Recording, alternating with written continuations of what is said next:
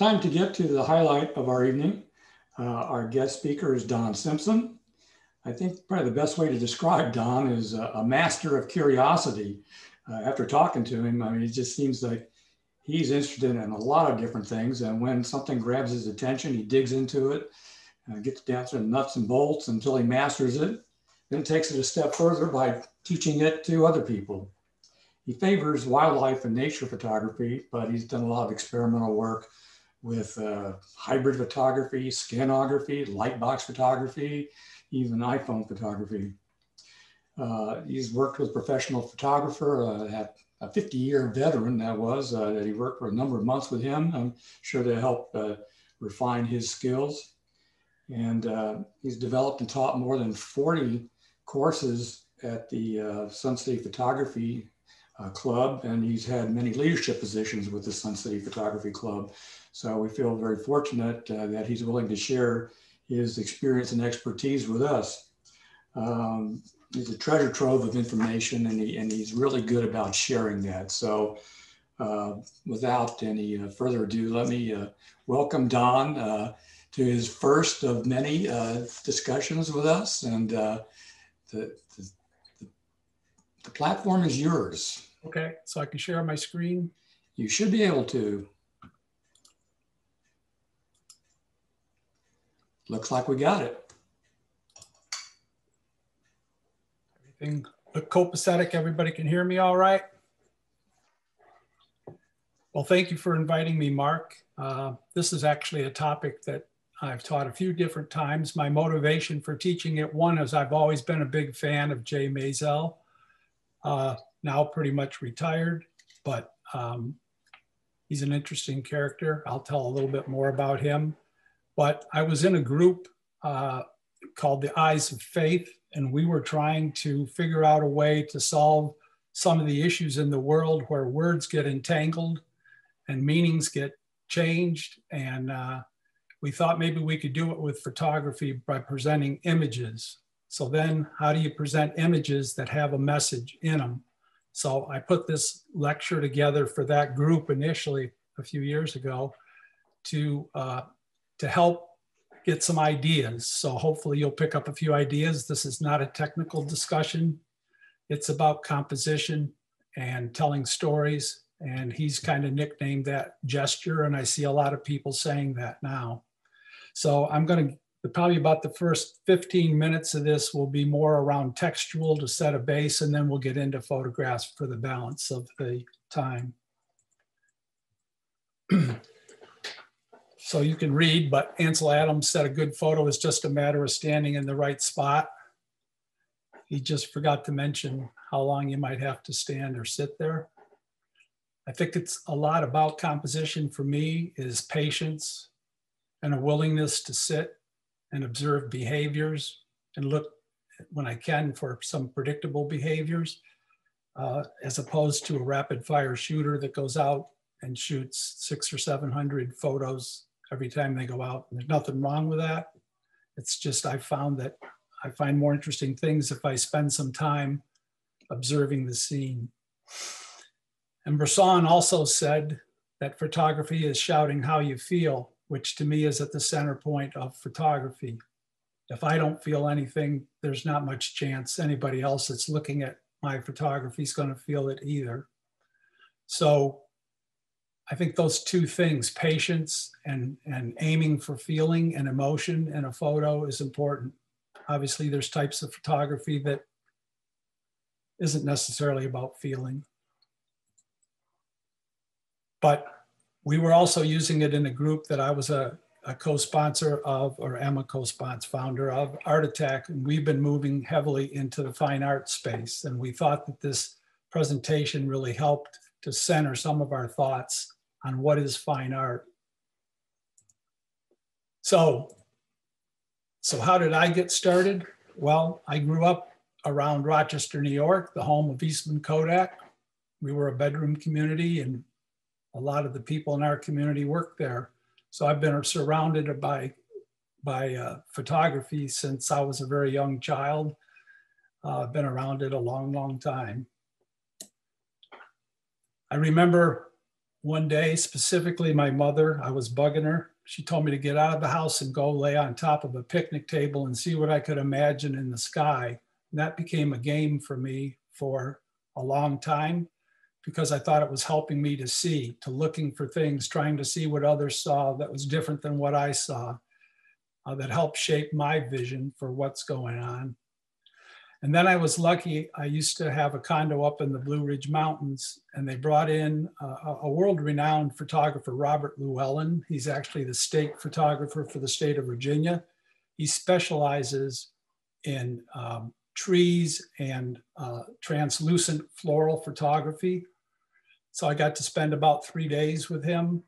And one of the exercises he did was, it was uh, eye opening for me he decided he'd take us on a short field trip, about 150 yards from a trailhead. Each one of us had brought with us a little plastic canvas. And when we got to a spot a couple hundred yards in the wood, he asked us all to lay our canvases down, spread out, not get too close to each other. For the next 30 minutes, you're going to lay on that canvas and look up into the woods. First, with your eyes closed, hearing the sounds you typically don't because you're too busy walking, and then opening your eyes and just being aware of all the things. It was an absolutely amazing experience for me because I heard things, saw things I never would have seen if I was just hiking that trail. It's taught me to slow down uh, and, and look around uh, and spend the time uh, where I can. Jay, I think he's now 89. I'm not going to read this whole thing, but he has he, he's an artist as well as photographer, and he uh, has written seven books. I have two of them.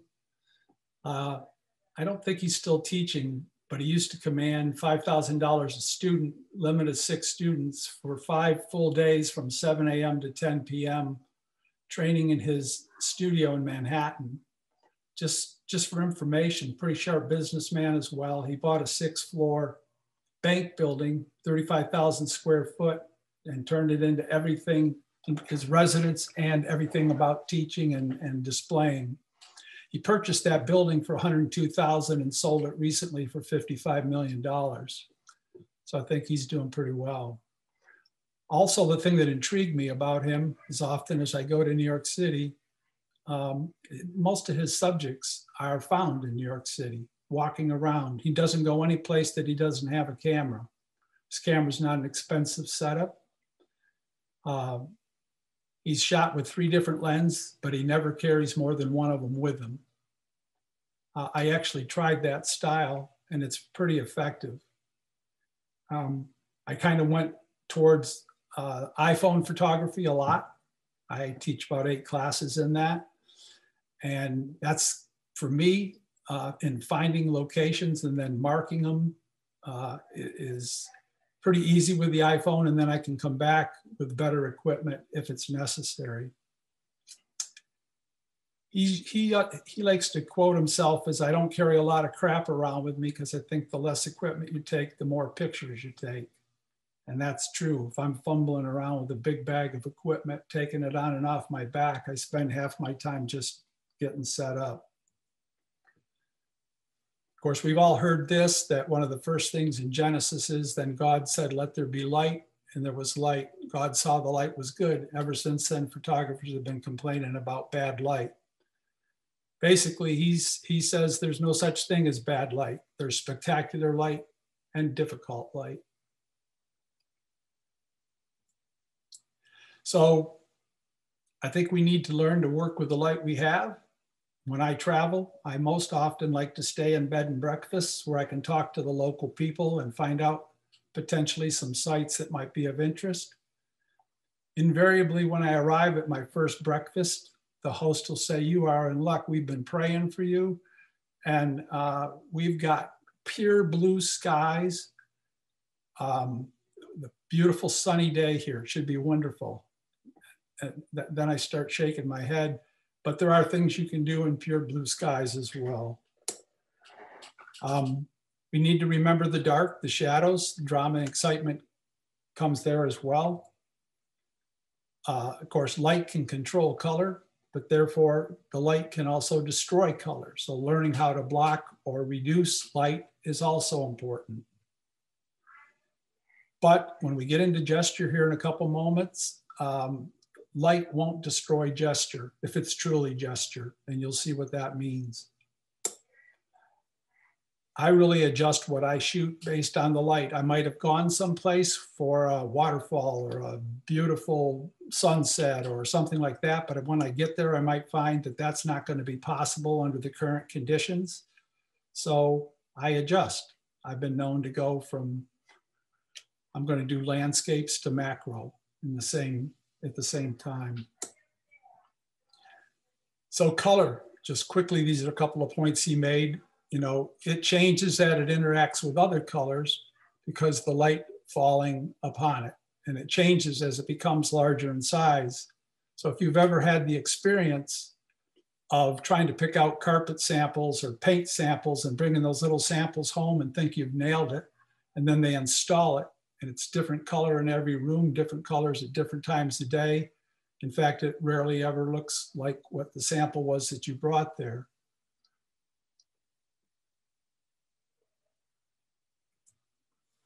So gesture, basically each photo contains two elements for the most part. They contain form and they contain content.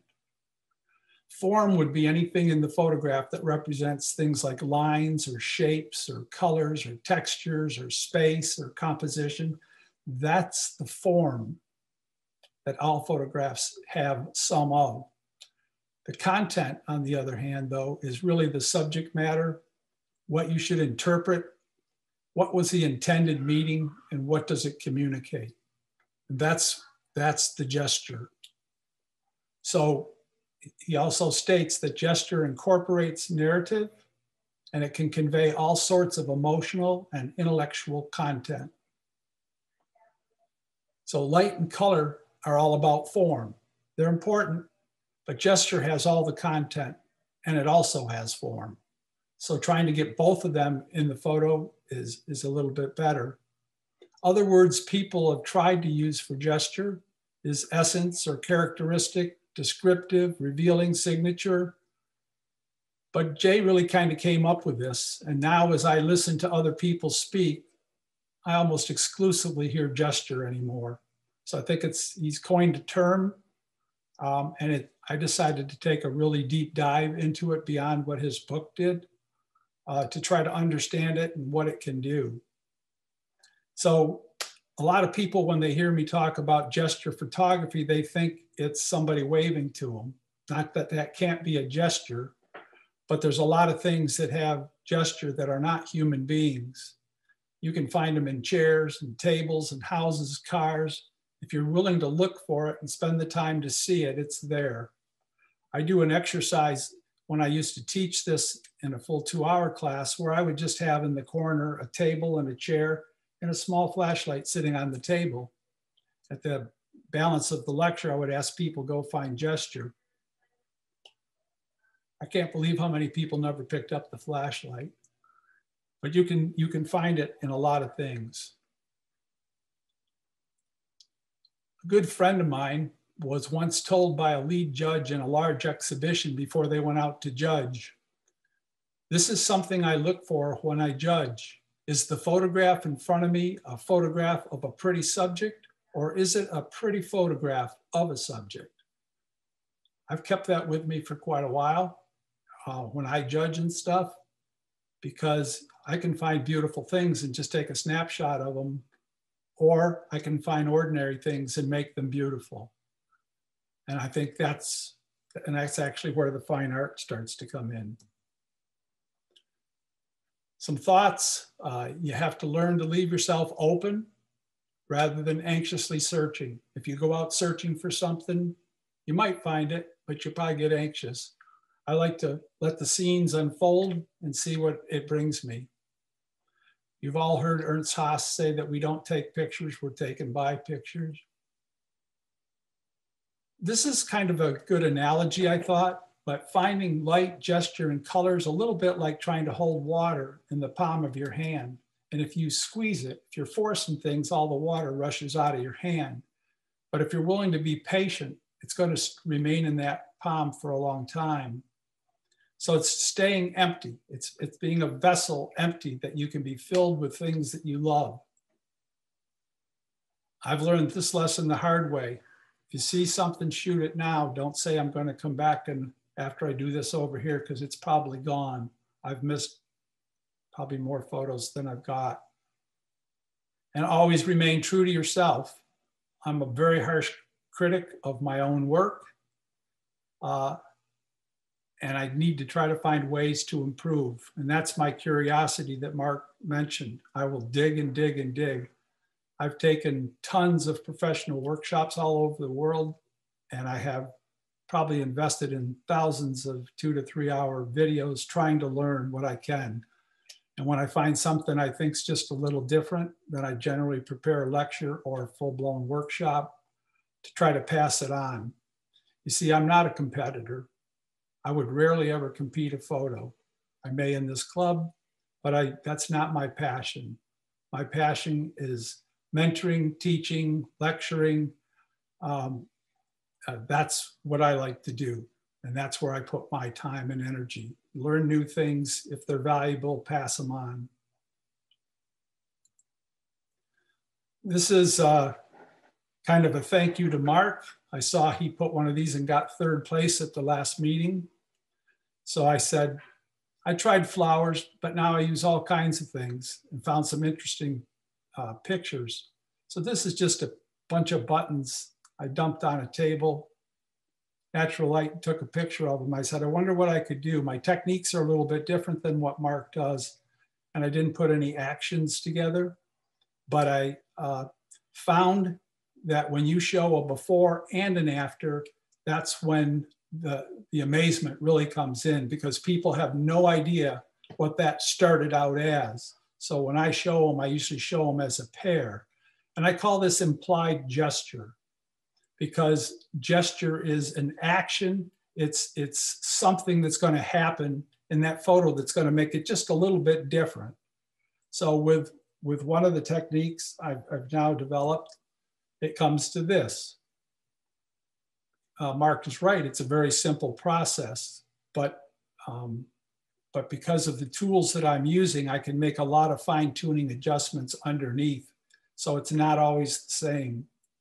So I just find when you put them together, it's it's pretty amazing to me, and and it's it is pretty easy to do. Excuse me, but this was written for the eyes of faith, so I'm not going to go real religious on you here. But I think when I go out to photograph, a lot of times I'm humming a tune, I'm thinking of a poem, and th- something that helps put me in the mood for what, what I'm facing. So if God gave us eyes to see them and lips, which is our cameras to, that we might tell, you know, God, how great is He that He's made all things well.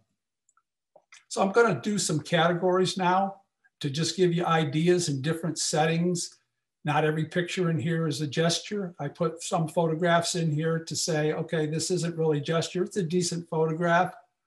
Um, and then can show you some things in that category that I do consider gesture just to, just to help set the stage.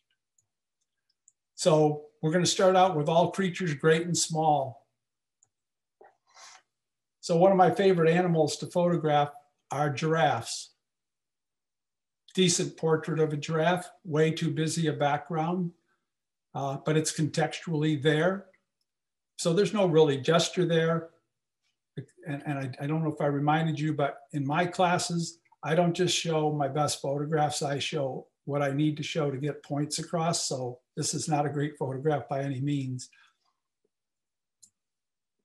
But if we add gesture, that photograph becomes something completely different my observation of being out on a number of uh, trips to see these great animals is that they tend to bend down naturally.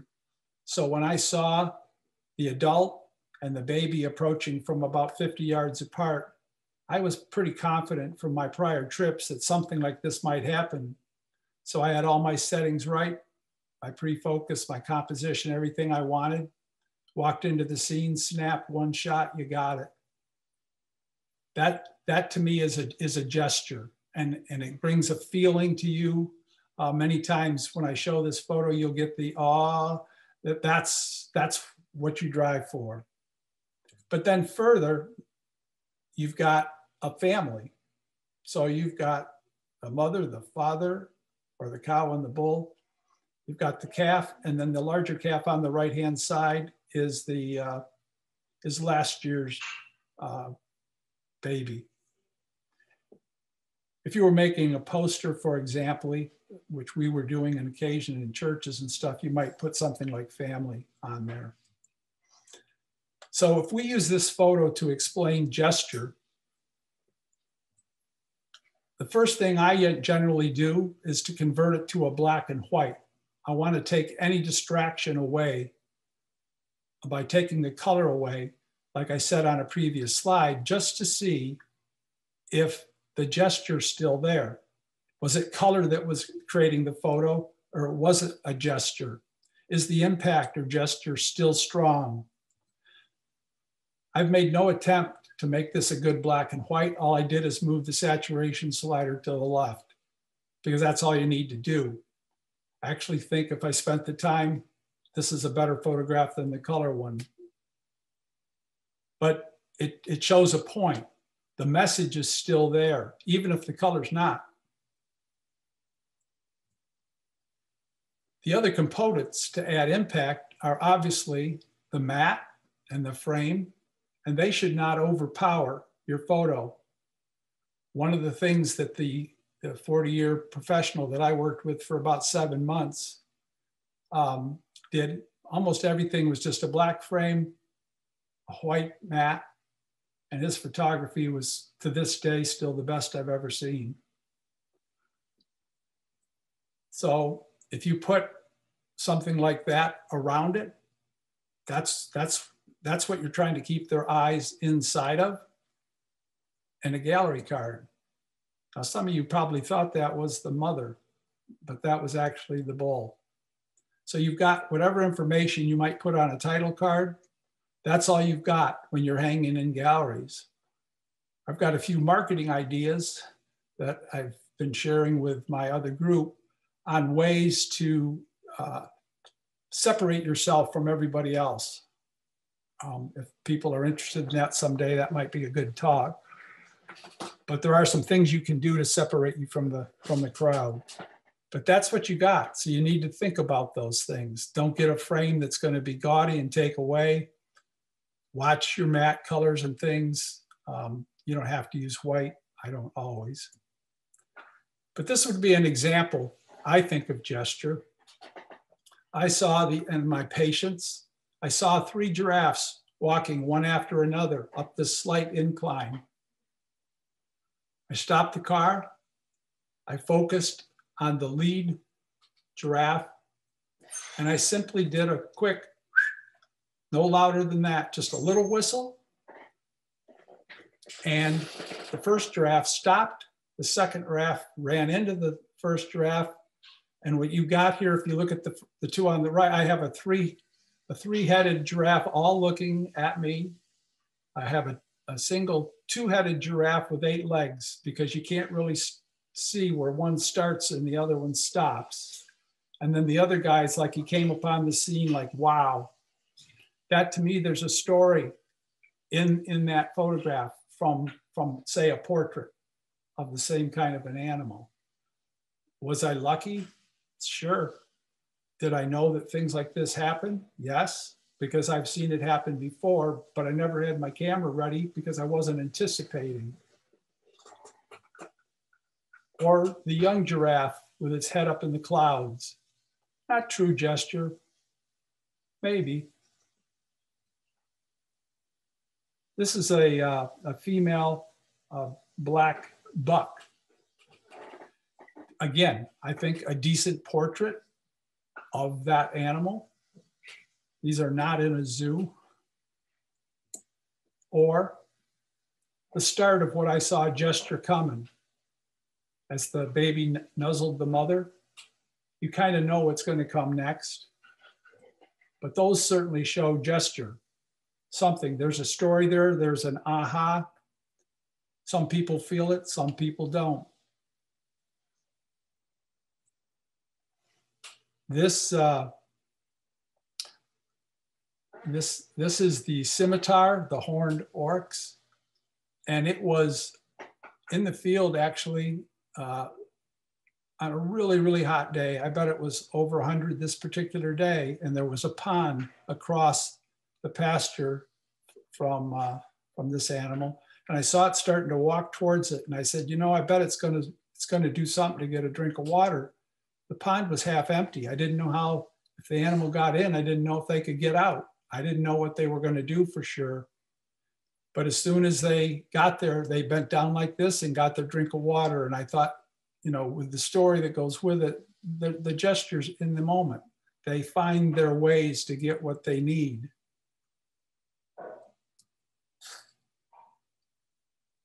This is an interesting story here. Um, the one on the foreground was standing over a, a herd of about 30 females. And then about 50 yards away up on the ridge came this other one. And as he moved closer, the, uh, the foreground one started with the pounding, like a warning, like stay out. And then I wondered if they would uh, fight. So I focused on the foreground animal and waited. And this, was, this was their first, I'll call it embrace. Just as a piece of information, just because I never knew this, this is considered one of the most dangerous uh, animals in all of the Egypt and Sudan. I'm like, like over lions and things like that. They said, yep, if you think and look at the head of this, if they were standing straight up, a lion generally will come from the front and pounce. If they bend their head down slightly, those horns will put them on a skewer. It's one of the reasons they don't want you to get out of your car or out of any kind of a vehicle as you go through these little safaris, because things that you think would be safe are not at all safe. These are real wild animals. This is the southern white rhinos. Just an interesting picture looks like a mother and its baby. Actually, it's not. The mother abandoned that baby on birth. This other mother had lost a baby during birth and instantly adopted this young uh, rhino. And even though the mother's occasionally in the same pasture with them, she has nothing to do with that animal. Everything resides around the adopted mother. This is what they like to do in the sun.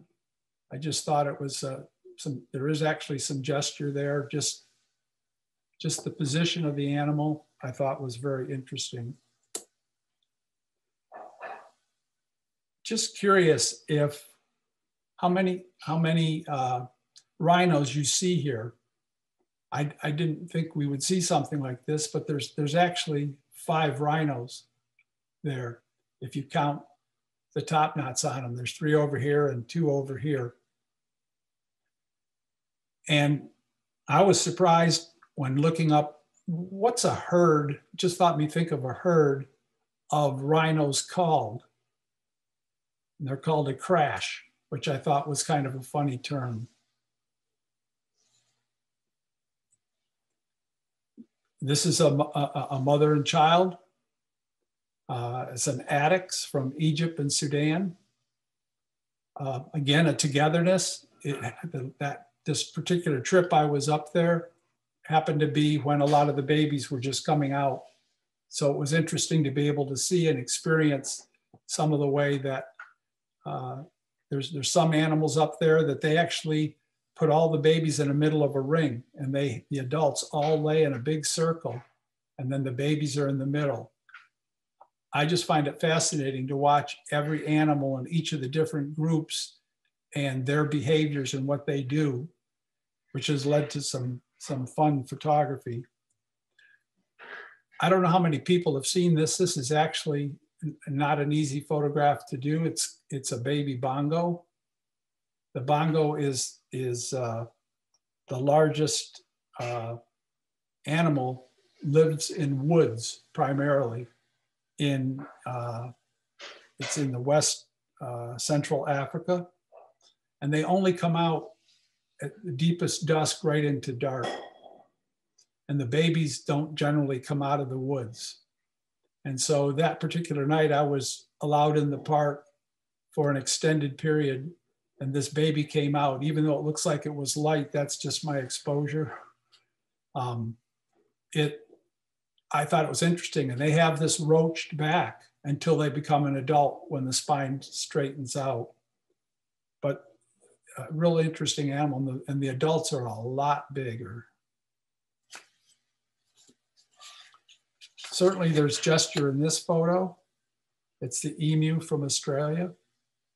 Uh, I've taken a lot of pictures, but I've never got the, the light shining in the eyes at this particular angle to get the color. I call the photo a bad hair day. Um, the only thing you got to be careful of with an animal like this is that with that beak, we were warned to watch our expensive cameras because they like to go for bright, shiny objects. And many a photographer has had the lens destroyed by the beak of this animal. Yet, if you put food in your hand and hold it out, they will pick that food off your hand. And You can't even feel them do it.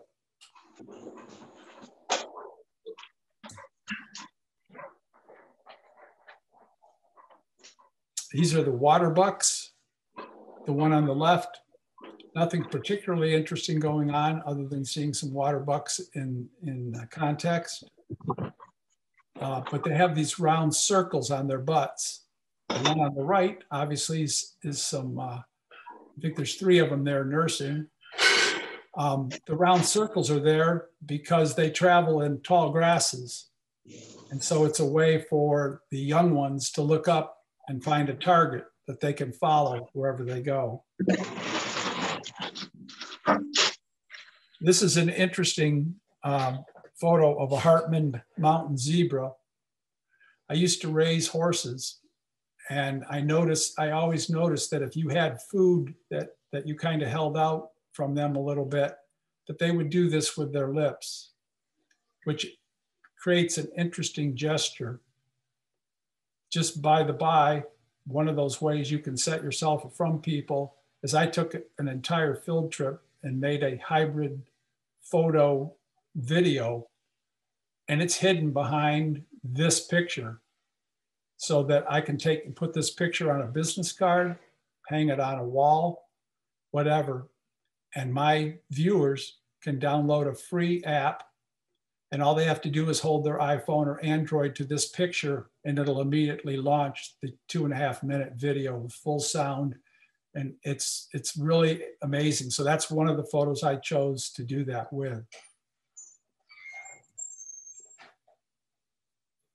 I'm not really sure what these animals are, to be honest with you. But when I first saw it, it looked to me, it reminded me of a mirror. They like look almost like perfect mirror image.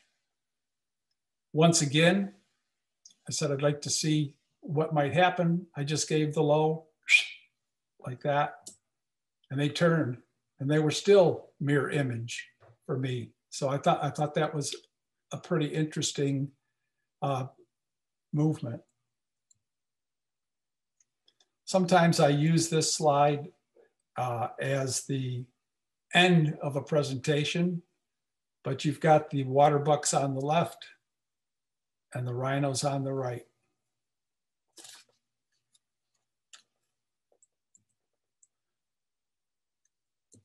If we use people, for example, and maybe some non-traditional gestures, I was wandering around in the back streets of London one day, and off in the distance, I heard a tuba player, and I'm, I was a tuba player, with a little bit of a light orchestral music behind it.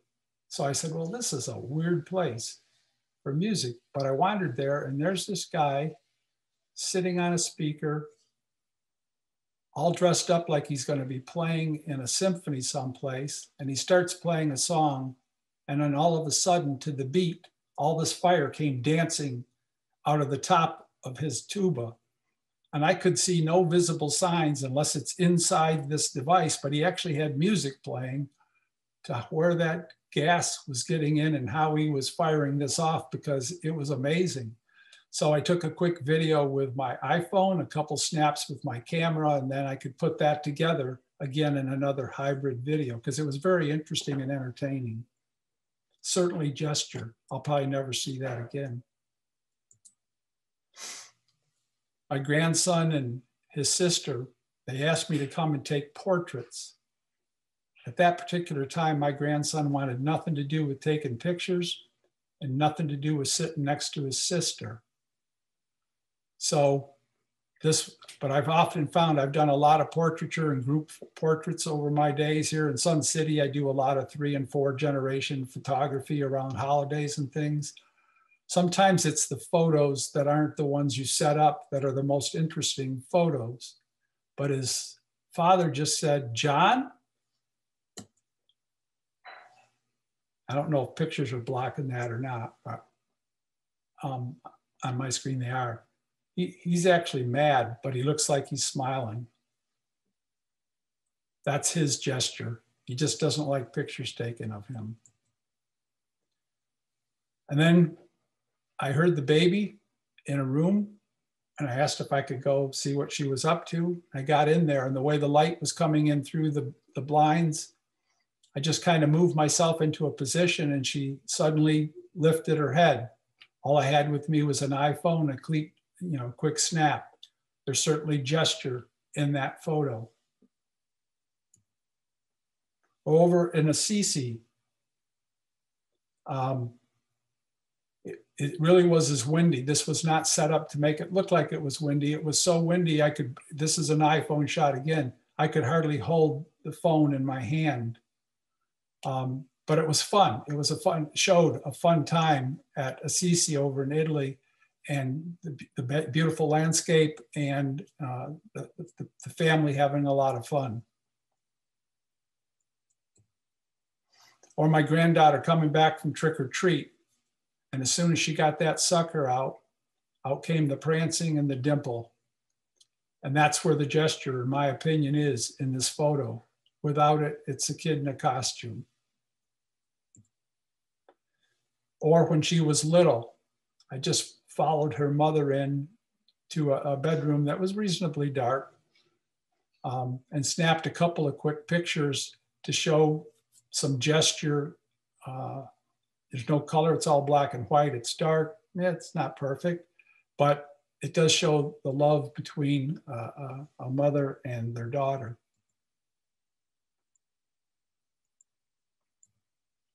If I moved on to small animals, I'm going to use birds. I was going to try to keep birds on a stick off of here, um, but I've got a couple. But so you say each little flower, each little bird that sings, you know, they made that you made their glowing colors and made their tiny wings. So, so to avoid birds on a stick, I thought it was unusual in one of my bird blue, uh, bluebird houses. Typically, you see them carrying material in but I've not seen them taking material out. So I thought this was just an interesting picture to snap. Or a black-necked stilt out in California.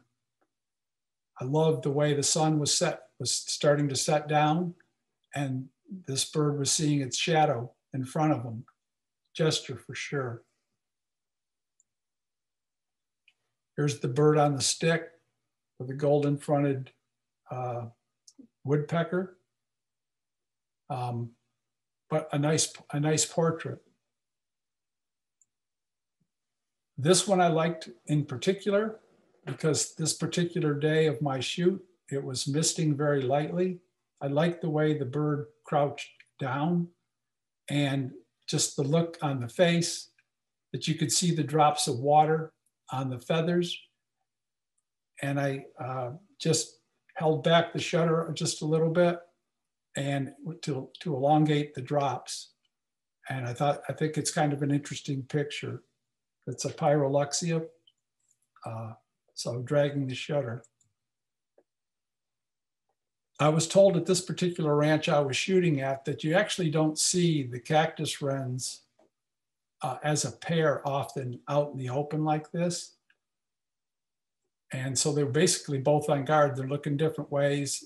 The fact that he told me I didn't know might have been a line of baloney, but I thought I would grab the picture because I personally had not seen it before. Or there's food down there on that branch. You just can't see it. And interesting the way one would guard while its mate was uh, actually eating and then they changed places.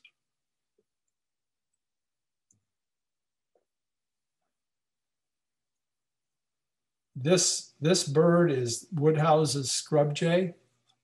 I was actually displaying it on kind of a, a bird site and got yelped at because I called it a Western scrub jay, but I didn't realize that they actually split that group a while back. So technically, this is a Woodhouse scrub jay. But again, I was looking for gesture. I noticed when they would land, especially if they were anywhere near food, they would do these interesting little dances. And so, being ready, I had everything framed up, focused, and just waited. And when that bird landed there, that was the first thing it did.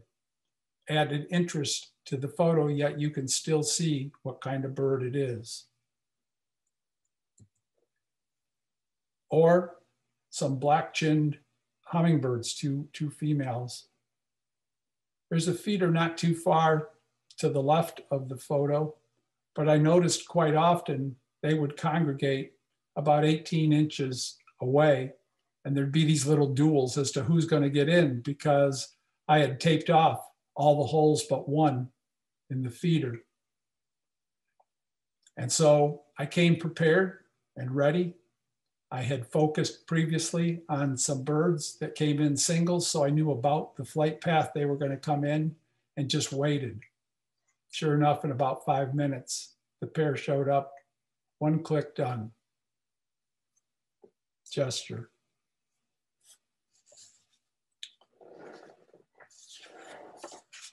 This is a sanderling out in California near the Golden Gate Bridge. And I was intrigued by these little birds because they're shorebirds. And when the shore recedes, they run quickly out. They hope to get a little crab or something and then run quickly back. So this is the bird that is running out to get something to eat and being able to show just as simple as, as using a panning technique to get the uh, legs to be blurred, I think adds interest or gesture to a photo such as this. Or out in uh, California again, um, out on the coast uh, from in Sonoma County. It was really windy, cold day, wandering around, not much happening. Everybody was huddled in. And I walked up to the edge and looked down and I said, oh boy, this is like a brown pelican heliport or something. Focused and wait, because I figured there'd be more coming sooner or later. And then this one flew in. I think something like that adds gesture as well. If we get into the uh, flowers, this is a big uh, example of something I do. I, I'm big into scanography. Um, that's been fairly popular for me to teach because if you happen to have a color scanner at your house, a flatbed, you can do amazing photography. The resolution, I can blow this picture up big enough to put on a wall in my house and it'll still be at 300 DPI coming off of a scanner 9 by 12. Um, the focus is unbelievable. The lighting and color reproduction is unreal. And so I call this balanced. So you have a tabletop and how could this plant balance on one dead petal in the middle? That's the gesture. And that's because it's not balanced. It's laying down. I just made it look like it was balanced. Or another just fun. I call it smile. just a fun composition on the flatbed scanner. But the colors, the textures, the, the detail is amazing. This is over by the airport here in Austin, where there's a series of ponds and stuff. I was out there with the Nampa people doing a shoot. It was really windy that day. I think I had my 300 millimeter lens with me. And I was intrigued by these flowers. They're called common day flowers, but they typically aren't shaped quite this way. So I did the best I could from a fair distance away because as we know, wind, that's my behavior watch, wind ebbs and flows. And so if I could just focus, get my shutter speed where I need it to be, surely I'd get a picture. I love this picture, the gesture with the big ears, the eyes, the nose, the hands. It's all there. The whole face is right there. Uh, the colors are great.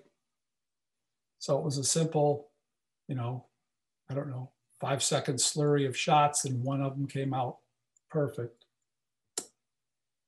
Or here in Sun City, I was actually laying on my stomach out right at the edge of the woods, taking a picture of a plant that was next to this one and was just about to flip over to take a picture of this. And this blossom came from I don't know where and landed on this plant. And the first thing I could think of is like a night hat like they would wear back in the Scrooge days or something. And so I was I was lucky, but I was patient. I could have taken a picture of one thing and quickly snapped this thing and got up and missed this photo completely. Looking at an orchid, just I'll call it kind of a close up. This is an iPhone shot. And then I put a macro lens on the iPhone and I was able to get a really nice photo of the detail. And that's all done with an iPhone. Um, but certainly the gesture is there. Quite often, if I take pictures of orchids and things, I get the shot on the left and forget about the shot on the right, which is incredibly interesting. This shot took me eight hours to get. Um, it was growing in my son's uh, yard in, in Houston. But why did it take so long? No, I did not sit out there for eight hours. But initially, I wanted a shadow. I wanted some kind of gesture in this plant. And I just had to keep going out and checking to see when the sun was going to get just right to cast a shadow, which to me makes the photo. Without it, it falls into the classification of the picture of a pretty object. Again, this is on the scanography, but I can create scenes. I can tell stories on this device.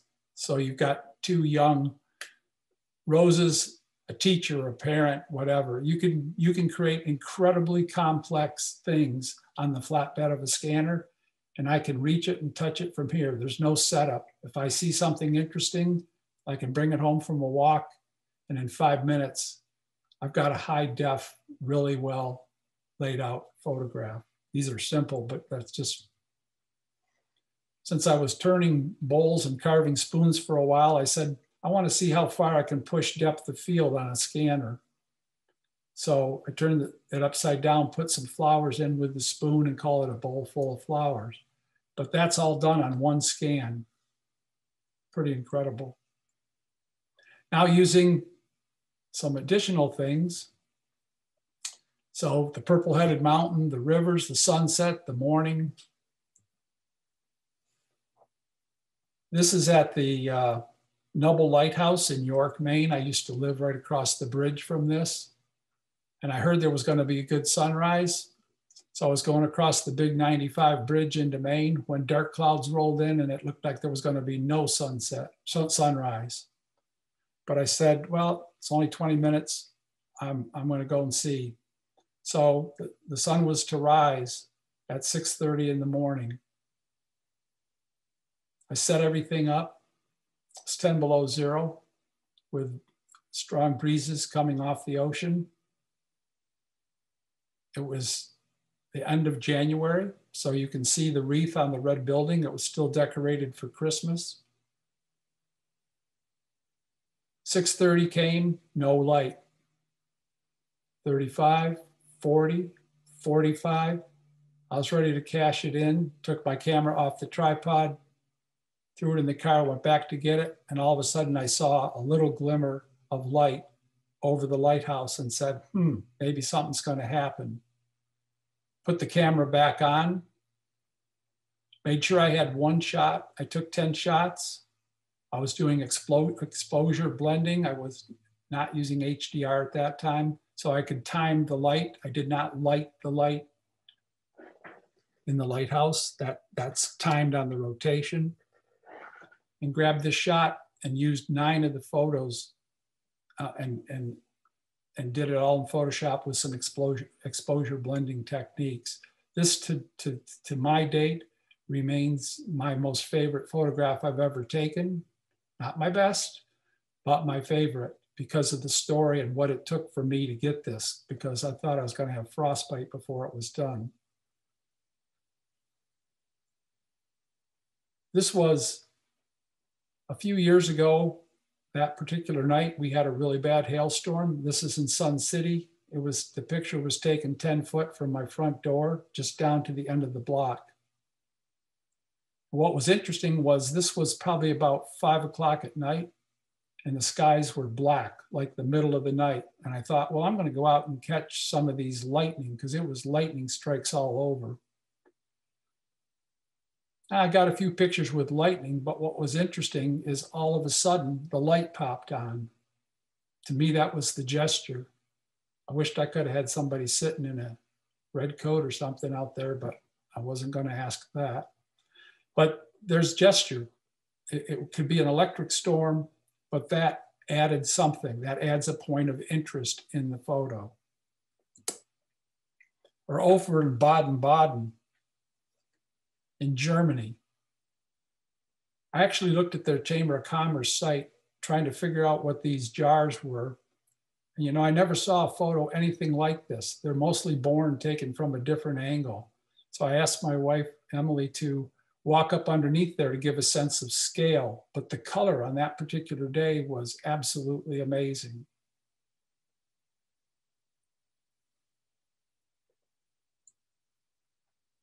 Or in Paris. Um, we were we were there, and the uh, the Parthenon that's in Paris is there, and I saw the sculpture and I saw the beautiful tulips, and I thought, how can I compose this shot for what for, for to make a message out of it? And so he was in a presentation style with his hand, so I made sure that he was presenting the Parthenon. But then in his left hand, he's holding, obviously, not, you know, a piece of parchment or something. But I was thinking, oh, that's an old timer iPhone. So he's presenting a speech to present it. So I was able to bring all the elements into the photo, including gesture, that makes things just a bit more interesting. This was an interesting shot, obviously in Paris. We were waiting for a bus. And I saw this happen a few times while I was in Paris, where couples on their wedding day would get all dressed up. And I don't know if it's before the wedding or after the wedding, and go take pictures in different places around Paris. I was really intrigued by this couple. They were beautifully adorned. The it had just finished a sprinkle, so the pavement was wet to give some sheen. We had all the uh, trails from the airplanes up in the sky, and they're taking selfies on his camera. He had a remote control. So I decided I'm just going to walk over there and see if I can grab a shot, not including their full faces. And I couldn't have asked him if I could have permission because I don't speak French. But this is an iPhone shot that I snapped because I just waited and watched and observed what they were doing. I wished I did know who it was because I'd like to give them the photo. Typical shot at the Louvre with my granddaughter nothing special. I mean, to people that have not seen something like this, there would be gesture there. This is out in Big Bend at the window. I call it rainbow sunrise at the window. I was sitting in the breakfast room eating my breakfast and I saw this incredible colors come up behind the scene. And I said to the waiter, Is that a typical sunrise here? And he said, No, when atmospheric conditions are just right, sometimes this happens.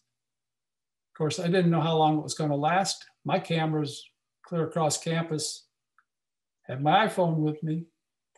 So I ran out there, composed the shot, and took it. And I really, I really, if you've been to to to this place, it's a beautiful place, and you can hike out there quite a ways where there's a drop off. I haven't done that, but that's what I'm told. Or a really animated beggar in Germany, and he did a lot of funny things uh, while people were trying to bend over and put money in there. This, this uh, is up at Lake Louise. I happened to be there probably a week to two weeks before the ice had completely melted. So I thought the interest was uh, with the mountains and the glacier and all this coming down. A little bit to the left of this, I do have a picture, I just didn't put it in here. It said, dangerous, do not canoe in this area. I, I can't imagine who's out there canoeing anyways, but that's what it was. One of my favorite, I, I worked in Switzerland off and on over the course of a few years. And I like to go to Lucerne, specifically to the Chapel Bridge. It's an old, old wooden bridge. It's a very fast moving river, but it's always nicely adorned. And uh, one time when I was there, I could hear this ching chang, ching ching, ching chang. And I looked over and it, it was uh, just lost the name of this religious group that was there about to go across the bridge that attack it attaches two chapels on either end of the bridge. Um, again, this is an it's an iPhone shot, but I happened to get up uh, when I'm on riverboats and things early in the morning and try to catch interesting scenes and atmosphere. And I found this walking on the top deck one day, and I thought it was very interesting with the leading leading lines coming to the foggy island, but yet you could still see through the fog um, to show the color in the in the houses and stuff. Not necessarily a good shot, but from a gesture perspective, I was up in a castle in Germany and there was the bend. And so I hung back from the group just to see what, uh, what was going to happen nothing real interesting came across, but I was at least patient to wait for one of the long boats to come around the curve to add at least more interest to the photo. So not the best gesture shot, but the idea of gesture.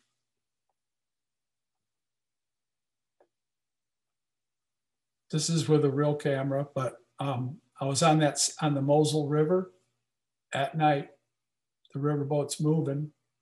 Beautiful, beautiful sunset but not much but the side of a riverbank to look at. So I walked up to the front of the ship and I saw this gravel yard coming up. And I said, I think this could be interesting.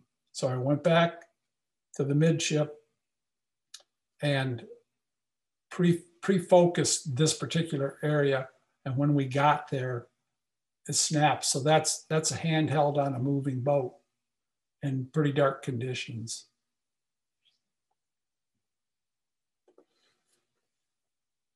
I was lucky enough to have a condo at the top of the Blue Ridge Mountains. And the first year that I lived there, I think for five weeks, I got up and took sunrise pictures. This is from my condo.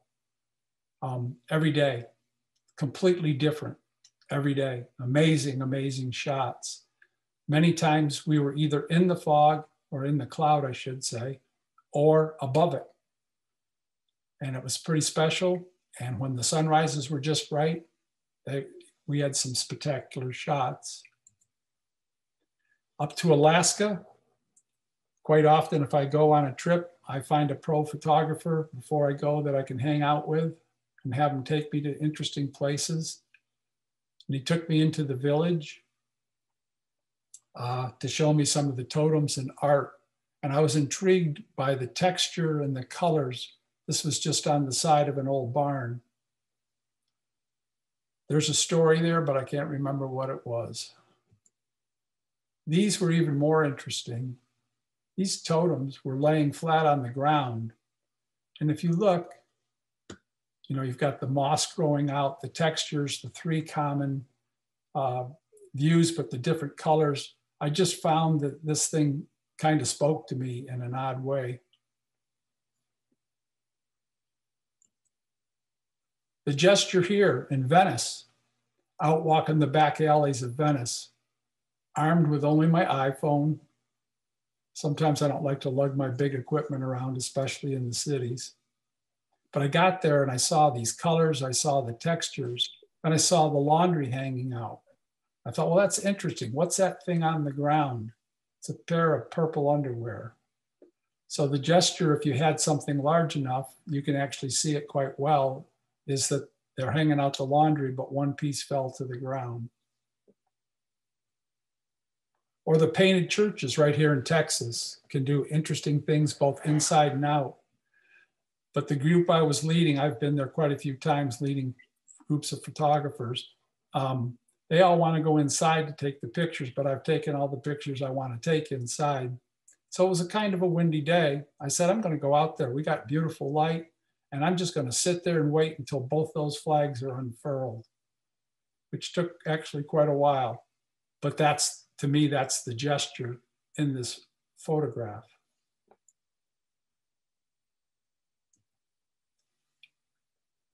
This particular picture is in Trier, in Germany.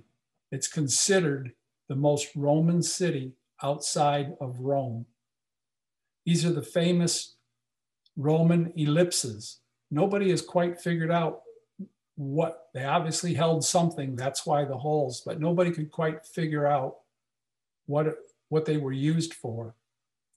I happened to be there on Good Friday, and the townspeople were getting ready to do a live reenactment of the of the cross, and they were doing this. I don't speak Italian either, but in my best way I could with sign language, asked if I could possibly take a picture. So the men moved the stuff off and let me take the picture. And I just thought, how ironic. The Romans put Jesus to death, and I'm in the second most Roman city in the world celebrating the resurrection. I just thought it was an interesting set of facts. This, I quite often at the painted churches now wander around in the graveyards.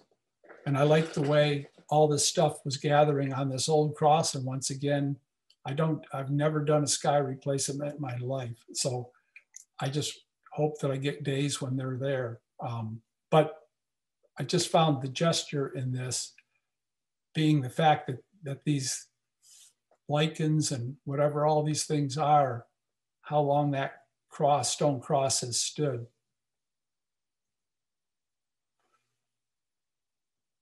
I just found an interesting similarity between the base of the trees and the feet, and it made me instantly think of dinosaurs. Um, so I decided to just put it side by side. So this is basically the end, but um, it's just, I need, I need to stress that we need to spend the time to open our eyes so we can see uh, all of the beauty that's out there and the behaviors and try to put something inside a photo that is greater than just what I call uh, um, road, road by shootings or uh, happy snappies you know, spend the time to do it the right way. So if anybody has questions, be happy to share them. Well, Don, I just want to say thank you so much. You really gave us a lot to think about. as we're setting up for a picture, uh, how to add something that might make the picture far more memorable than uh, it would if we just did the, the grab shot. Um, are you still pursuing uh, photography actively or are you spending most of your time teaching these days? I haven't taken a picture since last June. But most of that is related to a health situation. I described some of it, Mark, but now I'm in treatment. So with uh, kidney failure and tuberculosis and a few things, that makes it a little harder. Mm. Um, although I'm starting to pursue things more in and around my house. And I think I'm going to be able to get out pretty soon, but I couldn't take a chance with COVID because of my conditions. So um, I shoot, I still research, I still watch lots of videos, I still write lots of blogs, I still write lots of instructional material. Um, but I haven't shot as much as I used to. Well, I really appreciate you sharing your thoughts and your images with us. Anybody else got some questions out there? It's really a simple subject.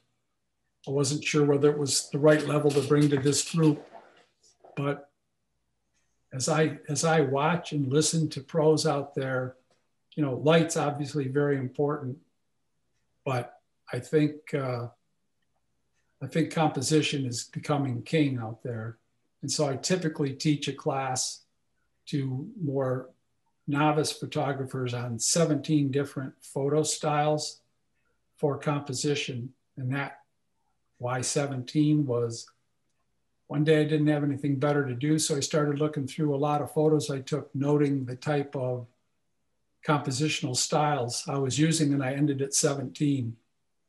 And then I teach this afterwards so that you do all the stuff you typically would do in compositional style, but then try to add that something different, something that's going to separate it from that when I used to lead, I used to lead field trips. I, I think I gave to somebody in the club more than 100 field trips in Texas that I had accumulated over time in case the meetup groups would be interested in any of them.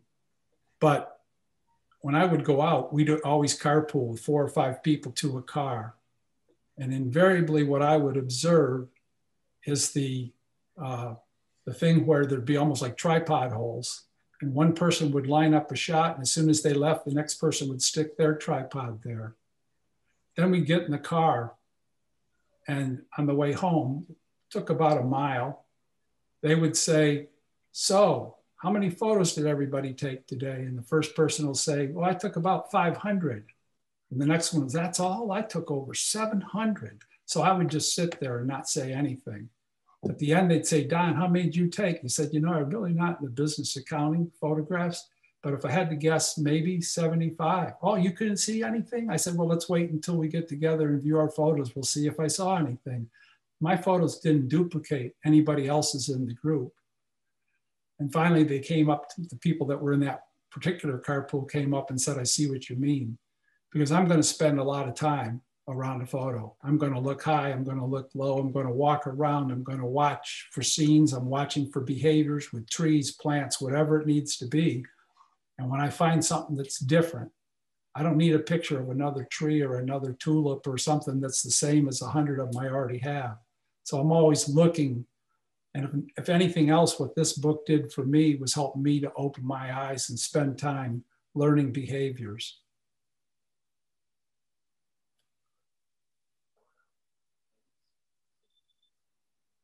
the the art of seeing. Yep, it's pretty important. Hmm.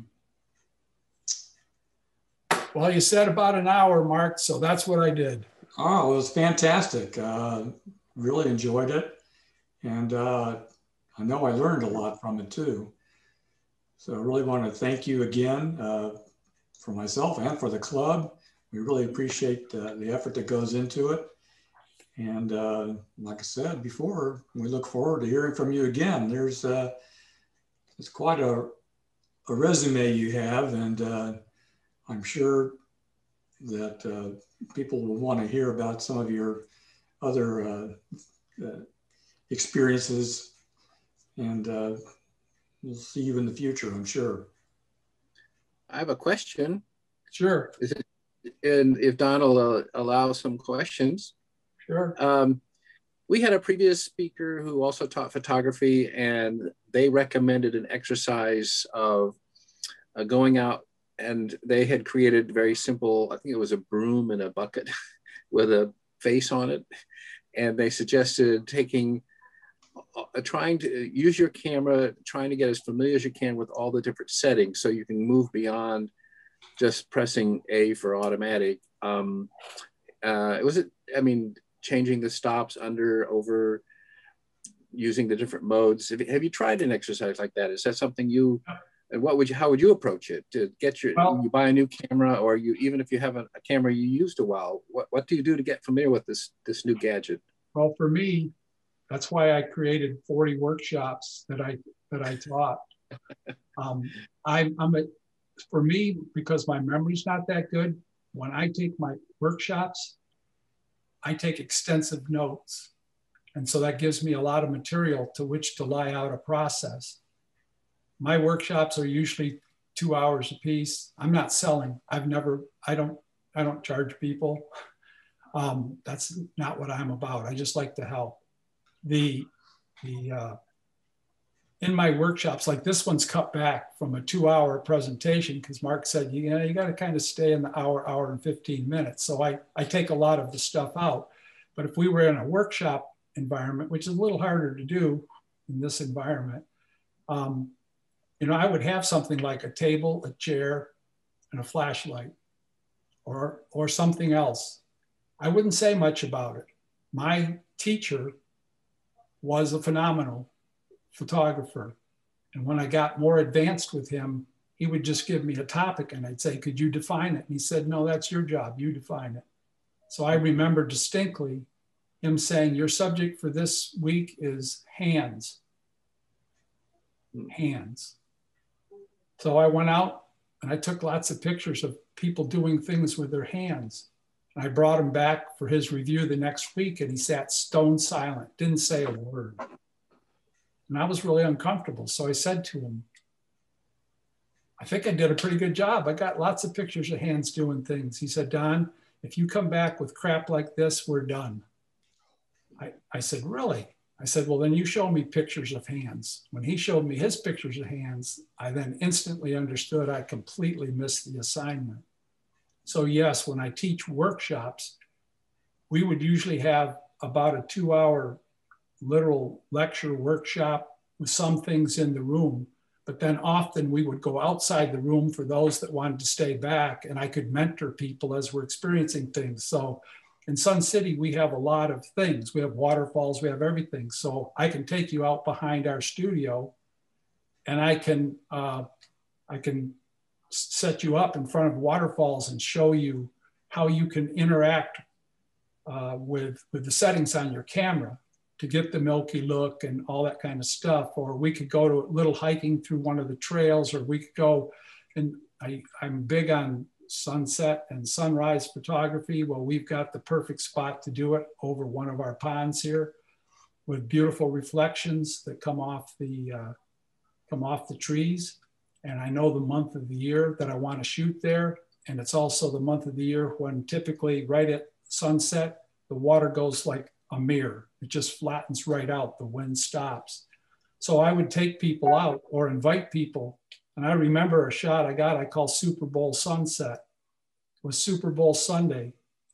I looked at the skies from the party I was at and said, Oh my goodness, this is going to be incredible. Called a few of my friends. No, we're at Super Bowl parties. I said, Okay, the heck with you then. I'm going to go by myself. Probably got the best picture I've, maybe the best picture I've ever taken. And um, I was very happy to show it to them at the next meeting so that they saw what they missed. And I was only gone for 30 minutes. I didn't hardly miss anything. So usually workshops include exercises with them. And um, I've taught some workshops over this, but it's really hard if you're going to start. I can't be at everybody's house to set stuff up. So I usually set a, a table, like when I did the uh, lecture for our group with uh, I moved my scanner out to a table right in front of the camera and I could live shoot right in front so they could see how I set up the photo beside the scanner and then turn them over and mirror an image one piece at a time. How I was able to get the predictable color for the background and show them the, the entire way that we go about a process. So yeah, I do, but I'm, you know, you can take very simple things, a waste paper basket, a table and a light. And if you think about things, you can come up with some pretty interesting photographs. Yeah, so gesture gesture is a lot more than just the settings on your camera, is what you've convinced me. Well, it's actually it's actually almost not settings no. on your camera.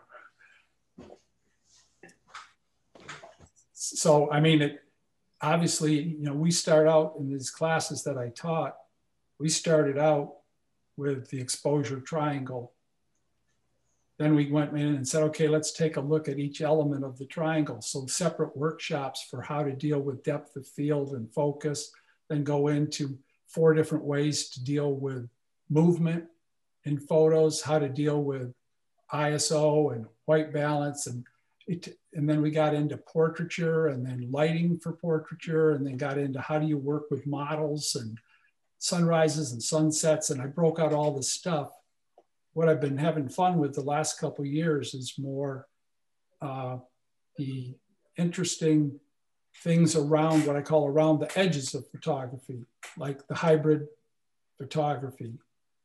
Um, fascinating. And then I found out from the hybrid photography, I could also do some interesting things from a business card or a photo that tells a story from one photo. I could tell a two and a half minute story and if I could put three pictures on a business card, I have three two and a half minutes. So it's an incredible advertising and marketing scheme. And it's free for your viewers. So I came up with a lot of marketing ideas of how we can market ourselves in galleries and things. Um, and, that, that's been pretty well received.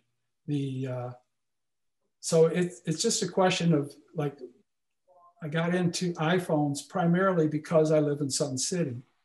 The vast majority of the elderly can't carry these big cameras around with them. They can't carry tripods with them. They, they don't have the money to spend on expensive equipment. And so I was asked, and I fill these classes. I only let 12 students in, and I fill the classes within the same day it's advertised every single time because there's a waiting list that's huge but I've spent a lot of time finding out what I can do with an iPhone in special ways that I don't need to carry it around. So when I was hiking, I hiked in the mountains a lot in our places in the mountain, in two different places in the mountains. And I didn't want to carry this heavy equipment around and it's dangerous if you slipped and fell, any of that type of stuff. So a lot of times I would just take an iPhone with me. Many times I came away with a really nice photograph sometimes I came away with a nice place to come to with my big camera and set up on my own time. But you got to watch bears and you got to watch rattlesnakes because they have timber snakes. So you just got to be careful out there.